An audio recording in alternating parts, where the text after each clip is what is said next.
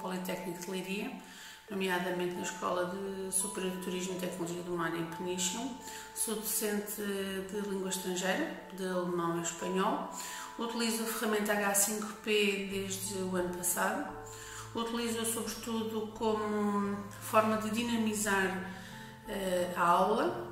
Um, utilizo a ferramenta H5P esporadicamente para fazer algum quiz, uh, algum jogo de memória, para adquirir vocabulário, sobretudo nos níveis iniciais, mas também utilizo nos níveis avançados para um, adquirir alguns conceitos um, através também do H5P.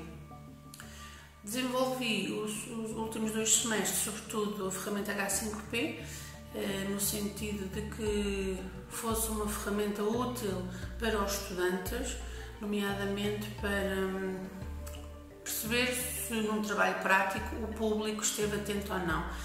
E então a ferramenta foi, eh, foi Basicamente, os alunos é que criavam a atividade e no final da sua apresentação fariam três ou quatro jogos, jogos de memória, poderiam ser quizzes, verdadeiros ou falsos, ou eventualmente, se utilizassem um vídeo, também poderiam fazer uh, algumas questões diretamente no vídeo. Portanto, parava-se o vídeo e automaticamente saía uh, uma questão, ou uma pergunta de verdadeiro ou falso, ou uma pergunta de, um, de opção múltipla, por exemplo.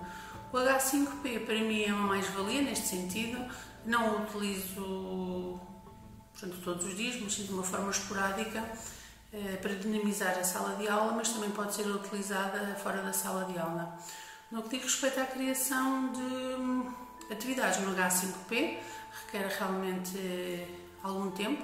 O que eu aconselho muitas vezes é aproveitar uma atividade já feita, fazer o download dessa atividade, por exemplo, fazer as alterações que queremos fazer e após isso então fazer o upload dessa, dessa atividade nova que nós criamos e podemos partilhá-la através do link ou partilhar o fecheiro ou utilizar então a plataforma Moodle que está à nossa disposição enquanto docentes e o aluno a qualquer altura, dentro ou fora da sala de aula, poderá utilizá-la.